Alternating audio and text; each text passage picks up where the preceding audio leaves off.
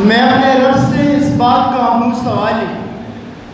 میں اپنے رب سے اس بات کا ہوں سوالی ہو قائم میرے ملک میں امن اور خوشحالی۔ میں اپنے رب سے اس بات کا ہوں سوالی۔ میں اپنے رب سے اس بات کا ہوں سوالی ہو قائم میرے ملک میں امن اور خوشحالی۔ جیسا کہ آپ کو پتا ہے کہ آج کی اس تقریب کا عنوان ہے پیغام یوتھ پاکستان یعنی معاشرے میں باہمی ہم آہنگی اور اس سے مرتب ہونے والے اثرات اور اس کو ختم کرنے کے لیے جتنے بھی اقدار کی ضرورت ہے، جیسا کہ آپ جانتے ہیں، جیسا کہ آپ جانتے ہیں کہ آج کل معاشرے میں ہر چھوٹے سے لے کر بڑے درجے تک ہر جگہ لوگوں کے بیچ تضاد، چاہے وہ تعلیمی، ثقافتی، علاقائی مذہبی اور حکومتی سطح پر ہے اور اس تضاد کی ناصور سے آج کل کوئی بھی بچ نہ پایا آج ہم اسی عنوان پر روشنی ڈالیں گے انشاءاللہ Indeed, it is an occasion of great honor and privilege for me and my entire faculty to welcome you all in the remote area of the Khyber Pakhtunkhwa Bannu Medical College, Bannu, in the Youth Conference of Pegham-e Pakistan. I think it is an excellent opportunity to discuss the various issues pertaining to face in this region and I hope this initiative improve a lot in prevailing situations of peace and harmony in this region. But here I want to give some brief introduction of this institute. Banu Medical College was established in 2006 in one Government High School number 3 in Banu city. Then we started the journey of the medical field from that institute and now we have shifted Alhamdulillah in new purpose build of the Banu Medical College in township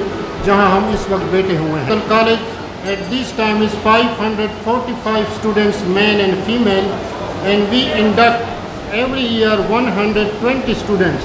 The students of the Bannu Medical College are too much talented. They compete, they compete with the other students of medical colleges of KP, even all the country in academics. As you know, last year, our final year result was 100%. Last two weeks ago, 25 students of BMC were selected for the international event of literary cycle in the Nast Islamabad and they got good positions there also. Will be injustice if we ignore the sacrifices, hard working of my entire faculty who delivered in very hard and critical situations in the beginning of this institution and they have a very key role to develop, establish this medical college. کہ اظہار رائے ہر کسی کا بنیادی حق ہوتا ہے اور اگر کہیں پر رائے ہوگی تو وہاں پر اختلاف رائے بھی ضرور ہوگی لیکن ہماری ذمہ داری یہ بنتی ہے کہ اگر کوئی ہم سے اختلاف کرے تو ہم اس کے اختلاف کو بھی اہمیت ہم دوسروں کی رائے کو اہمیت دیتے ہوئے اگر ان کی تنقید کو بھی اہمیت دیں گے تو اس سے ہماری میں اضافہ ہوگا، کیونکہ قرآن و سنت کی روشنی میں جو اختلاف رائے کو برداشت نہ کر سکے، تو وہ ایک لاشعور انسان ہوتا ہے۔ پیغام پاکستان بنیادی طور پر یہ ایک ڈاکومنٹ ہے۔ یہ ایک دستاویز ہے۔ پاکستان بننے کے بعد پاکستان نے ترقی کا سفر بالکل شروع کیا، لیکن ساتھ ساتھ ہمیں بہت سارے مسائل کا سامنا بھی کرنا پڑا۔ مسائل آہستہ آہستہ بڑھتے بھی گئے۔ آئین بدلتا رہا۔ ماشاء اللہ آتے رہے۔ سیونٹی ون میں پاکستان دو لخت بھی ہو گیا۔ پھر جب ہم نے افغانستان کی جنگ میں حصہ لیا تو اس کے جو ہمارے جو کانسیکوینٹ نائن الیون ہوا، تو اس کے اثرات بھی ہمیں سامنا کرنا پڑا۔ لیکن جب اے پی ایس ہوا یعنی ہم نے قبروں پر پھول ڈالتے ہوئے ہم نے ہمیشہ دیکھا۔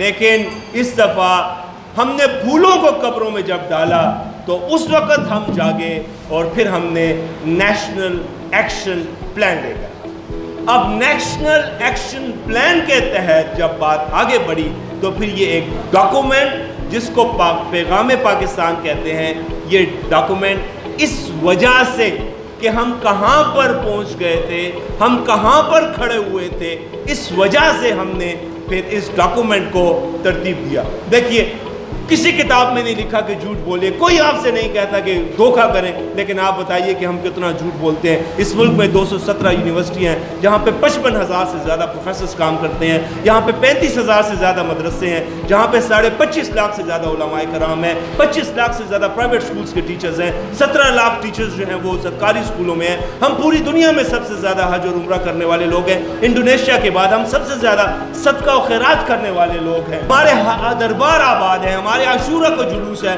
ہمارے بارہ ربیع الاول کا جلوس ہے۔ لیکن آپ بتائیے کہ آج ہم کہاں پہ کھڑے ہوئے ہیں؟ وہ کون سا علمی، اخلاقی، سماجی، سیاسی مذہبی زوال ہے جس کا ہم شکار نہیں ہیں؟ وہ ایک ایک برائی جس کی وجہ سے ایک ایک قوم تباہ ہوئی تھی، آج وہ ساری برائیاں ہمارے اندر پچہتر سال کے بعد ہم یہاں پہ کھڑے ہوئے ہیں۔ جس طرح سے ہم چیزوں کو آگے لے کر گئے تھے، اس کا انجام آج یہ ہو گیا ہے۔ تو اب یہ ڈاکومنٹ پیغام پاکستان کی روشنی میں ہم نے آگے بڑھنا ہے، یہ ڈاکومنٹ اس لیے بنایا بنایا گیا ہے۔ اور eastern culture is based on social and human values respecting human values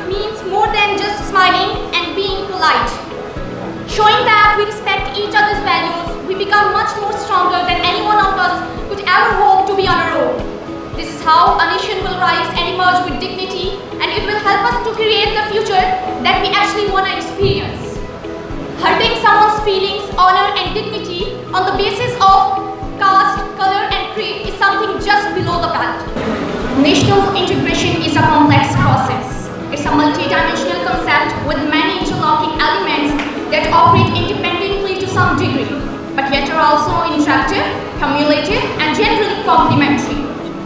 A teacher has been regarded the builder of a nation central force in the whole educational system اصل مقصد جو ہونا چاہیے تھا، وہ یہ ہونا چاہیے تھا کہ to lead a respectable life with a respectable medium of earning ہمارا ایک عزت دار ذریعہ معاش ہو، جس سے ہم ایک عزت دار زندگی گزار سکیں۔ میں آپ سے سوال کرتا ہوں، آپ لوگ ماشاء اللہ سارے ڈاکٹرز بن رہے ہیں۔ کل آپ لوگ کسی ہاسپٹل میں جاب کریں گے، کسی بھی پروفیشن میں چلے جائیں گے، کسی بھی ملک میں آپ جابس کر رہے ہوں گے، آپ کے اپنے کلینکس ہوں گے آپریشن تھیٹرز ہوں گے، مختلف جگہوں پہ آپ کام کر رہے ہوں گے اور ماشاء اللہ سے بہت پیسہ کما رہے ہوں گے لیکن کیا یہ اس بات کی گارنٹی ہے کہ آپ کی زندگی جو ہے وہ عزت دار طریقے سے گزرے گی جب آپ کا معاشرہ صحیح نہیں ہوگا؟ تو کیا ہم جو پروفیشن چوز کرتے ہیں وہ اس بات کی گارنٹی ہے کہ ہماری زندگی بھی اچھے طریقے سے گزر جائے گی؟ کیا ہماری عزتیں محفوظ ہیں؟ کیا ہم جب گھر سے نکلتے ہیں تو ہم یہ شیورٹی ہوتی ہے کہ ہم واپس آئیں گے تو کچھ ہوا نہیں ہوا ہوگا بڑے شہروں کی مثالیں لے لیں، بڑے جو پرابلمٹک ایریاز ہیں، ان کی مثالیں لے لیں۔ وہاں کیا ہو رہا ہے؟ معاشرہ ہم نے بنایا نہیں ہے۔ جب تک معاشرہ نہیں بنے گا، تب تک پاکستان نہیں بنے گا۔ ہمیں معاشرہ بنانا ہے۔ اور معاشرے بنانے کے لیے ضروری یہ ہے کہ سب سے پہلے ہم اپنے آپ کو بنائیں، اپنے انڈیویجول اپنے آپ کو بنائیں۔ There is nothing permanent except the change کوئی بھی چیز اتنی مستقل نہیں ہوتی ہے جتنی چینج ہوتی ہے۔ ہم جب چھوٹے تھے، ہمارے فزیکل کریکٹرسٹکس ڈفرینٹ تھے، بڑے ہوتے گئے، ہم ڈفرینٹ دکھتے ہیں، بوڑھے ہو جائیں گے، ہم ڈفرینٹ دکھیں گے۔ یہ نیچر ہے۔ اس کے علاوہ اگر ہم اپنی معاشرے کو، دنیا کو دیکھیں، تو we are becoming a global village کیوں؟ کیونکہ دیہاتوں سے لوگ جو ہیں، وہ چھوٹے شہروں کی طرف آ رہے ہیں۔ چھوٹے شہروں سے لوگ جو ہیں، وہ بڑے شہروں کی طرف جا رہے ہیں۔ اور بڑے شہروں سے لوگ جو ہیں، وہ بڑے ملکوں کی طرف جا رہے ہیں۔ یہی وجہ ہے کہ اگر آپ جب دبئی میں ہوتے ہیں you find people of different cultures origins ethnic origins races languages religions آپ کو مختلف قسم کے لوگ ملتے ہیں. This is what the beauty of life is لوگ ذریعہ معاش کے لیے مائگریٹ کرتے ہیں. کوئی اپنی مرضی سے اپنے ملک کو نہیں چھوڑتا. یہ اکنامک انٹرسٹ ہے جس کی وجہ سے لوگ جو ہیں وہ ہجرت کرتے ہیں. اور جب ہجرت ہوتی ہے تو نیچرلی مختلف قسم کے لوگ جو ہیں وہ آپس میں مل جاتے ہیں. اور وہ جو مختلف قسم کے لوگ ملتے ہیں، وہ مختلف اس لیے ہوتے ہیں کیونکہ یہ نیچر ہے۔ اگر آئیڈینٹیکل ٹوینس ہوتا ہے، لیکن اس کو ایکسیپٹ کرنا جو ہے that is something very important ایک چیز کا ہم شکار ہیں، جس کو ہم کہتے ہیں سملر ٹو بی سنڈروم یعنی سب کچھ جو ہے، وہ میرے جیسا ہونا چاہیے۔ میں جو چاہتا ہوں، میں جو سمجھتا ہوں، میں جس چیز پہ یقین رکھتا ہوں، سارے لوگ اس چیز پہ یقین تھینک یو یہ بات الگ ہے کہ تم نہ بدلو، مگر زمانہ بدل رہا ہے۔ یہ بات الگ ہے کہ تم نہ بدلو، مگر زمانہ بدل رہا ہے۔ گلاب پتھر پہ گل رہے ہیں، چراغ آندھی میں جل رہا ہے۔ یہی جنو، یہی ایک خواب میرا ہے۔ یہی جنو، یہی ایک خواب میرا ہے۔ وہاں چراغ جلا دو جہاں اندھیرا ہے۔ پیغام پاکستان، جو کہ قومی سطح پر امن کا پیغام ہے، آج کل کے اس باہمی اختلاف کے زمانے میں ہمیں ایک ایسی وضاحت کی ضرورت ہے جو کہ ہمیں یکجا کرے؟ اور اس وضاحت پر روشنی ڈالنے کے لیے میں doctor Abdul Muhaimin doctor Zeeshan Khattak, ex ambassador Zahid Khan Wazir کا بے حد مشہور ہوں کہ انہوں نے آج کل کے اس ایشو کو بہت اچھے طریقے سے ہائی لائٹ کیا۔